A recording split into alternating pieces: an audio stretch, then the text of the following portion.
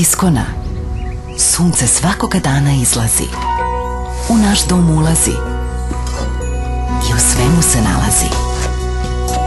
U svakom našem zagrljaju, u svakom našem zalogaju i na kraju zalazi.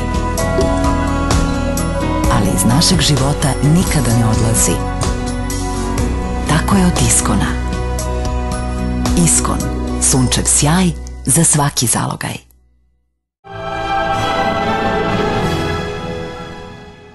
Dobrodošli u najnovije izdanje Agrodana. I ovoga puta za vas smo pripremili novosti iz sveta poljoprivrede. Za početak izdvajamo najvažnije naslove.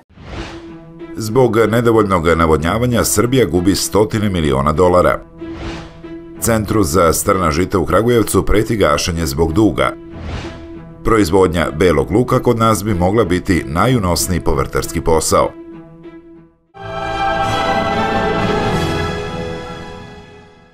Srbija u sušnim godinama gubi blizu pola milijarde dolara zbog nedovoljnog navodnjavanja u poljoprivredi, tvrdi direktor Beogradskog instituta za ekonomiku poljoprivrede Drago Cvijanović.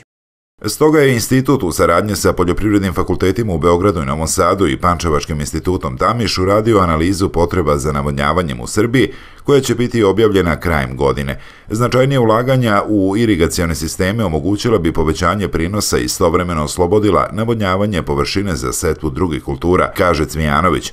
Prema podacima poljoprivrednih stručnjaka, u svetu se navodnjava više od šestine obradivih površina, a kod nas manje od 1%. Sistemi za navodnjavanje u Srbiji pokrivaju oko 180.000 hektara obradivog zemljišta, ali se navodnjava samo oko 30.000. Centar za strna žita u Kragujevcu, ustanova koja postoji 113 godina i ima 100 priznatih sorti žita, bit će ugašena ukoliko se rasproda imovina propisana za naplatu duga, izjavio je direktor te ustanove Živomir Vučković. Prema njegovim rečima, sudski izvršitelji popisali su pokretnu imovinu Centra rada naplate 5,5 miliona dinara duga preduzeću Ilić iz Čićevca za građevinske radove 97. godine. Popisana je pokretna imovina Centra za strna žita, kombajni traktori, sejalice, tanjirače, prikolice i plugovi, bez kojih ustanova ne može danas da nastavi rad, rekao je Vučković. Račun centra je trenutno u blokadi za oko 11 miliona dinara, a isplata zarada zaposlenima kasni 14 meseci. Zbog teške situacije zaposleni su u poslednje dve godine više puta protestovali, a jedan protest ostao je zapamćen po paljenju diploma ispred te ustanove. Proizvodnja belog luka mogla bi biti najunosniji povrtarski posao u Srbiji, jer čista zarada sa jednog hektara iznosi i do 22.000 evra, ocenio je savjetnik za povrtarsku proizvodnju Čačanske poljoprivredne stanice Milan Damjanović. Prodajna cena za kilogram belog luka je minimum 5 evra. Za njegovu proizvodnju treba uložiti pola evra i to je najrentabilnija delatnost, a kod nas se proizvodi u minimalnim količinama, rekao je Damjanović polaznicima zimske škole za poljoprivrednike iz Rudničko-Takovskog kraja. Za uvoz belog luka iz Kine Srbija izdvaja milione evra, iako ima izvanredne uslove za njegovu proizvodnju i može da zaposli na stotine radnika na tom poslu, kaže Damjanović. Proizvođači su izrazili spremnost da počnu proizvodnju belog luka, ali uz garancije da će sav rod biti otkupljen.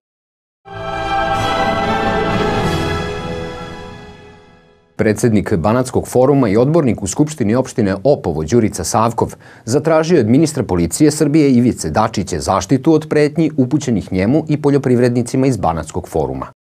Prema njegovim rečima poljoprivrednicima je prećeno zbog licitacije državnog zemljišta u toj opštini, a Darku Mijajloviću, poljoprivredniku iz Opova, 18. novembra nepoznate osobe podmetnule su požar na traktoru i kamionu i napravili mu štetu procenjenu na 20.000 evra.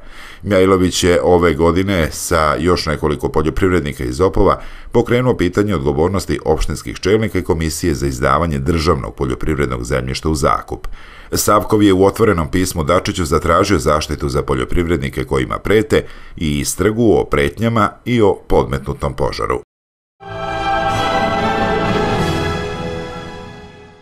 Jedan od stalnih neprijatelja voćara u Srbiji jesu i lisne buve. Ipak na našim prostorima primećeno je tek nekoliko njihovih vrsta.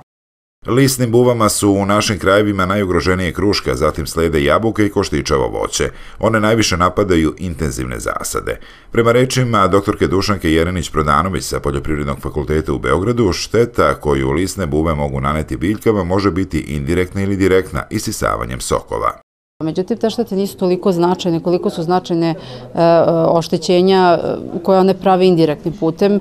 Luče mednu rosu na kojoj se razvijaju saprofagne gljive čađevice koje praktično prekrivaju asimilacijonu površinu biljaka i time sprečavaju normalne te, e, normalnu fotosintezu i transpiraciju biljaka i kad imate u voćnjaku dugi niz godina takve simptome oštećenja, normalno te biljke iz godine sve više slabe, gube i tu, taj, tu, taj svoj ekonomski prag e, ove iskoristivosti. E, drugo, e, utvrđeno je da su neke vektori fitoplazmi koje su ovaj, detektovane, odnosno još polovinom prošlog veka je utvrđeno da tim biljkama koje su napadnute od lisnih buva nešto fali, ali se nije znala ovaj, šta je to i poslednjih 15 godina utvrđeno da su to upravo fitoplazme koje ovaj, prenose ove lisne buve. Do sada je na svetu opisano oko 3000 vrsta lisnih buva, na teritoriji centralne Evrope ima ih 196. Rasprostranjenije su u toplijim krajevima, ali su dobro poznate i našim voćarima. Svake godine ih ima, e, barem što se tiče lisnih buva koje se sreću na gajenim biljkama. E, nešto je drugačija situacija sa lisnim buvama koje se sreću na nekim biljkama e, spontane flore ili recimo na nekim dekorativnim biljkama. Jedne godine ih ima, onda se posle, posle ih nema pa se ponovo pojave. Razlog za to baš nije ovaj, ovako jasan zašto se to tako dešava. Proizvođači kruške znaju da se lisne bube mogu suzbiti određenim hemijskim jedinjenjima. Ako se ne tretiraju, njihova pojava može na duže staze uticati na kvalitet i kvantitet roda.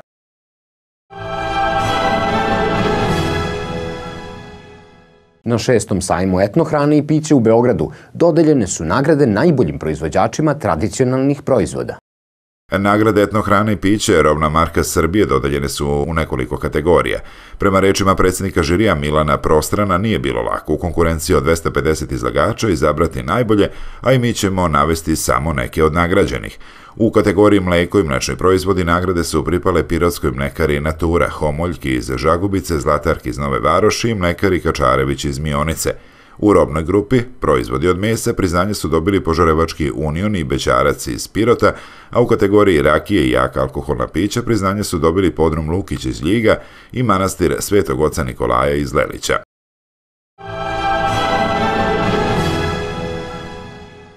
Francuski predsednik Nicolas Sarkozy objavio je da se njegova vlada i dalje protivi genetski modifikovanim usevima američke kompanije Monsanto i da će pribeći novim pravnim sredstvima kako bi ograničila njihovu setvu. Francusko ministarstvo poljoprivrede je setvu tih useva zabranilo 2008. Sud je međutim presudio da vlada nije uspela da dokaže da usevi Monsanto izazivaju naročito povećan nivo rizika, bilo za zdravlje ljudi, bilo za prirodnu sredinu.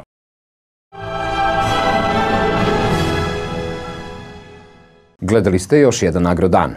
Emisiju možete potražiti na našem sajtu, a već sutra bit ćemo tu sa novim temama iz poljoprivrede. Doviđenja i prijatno.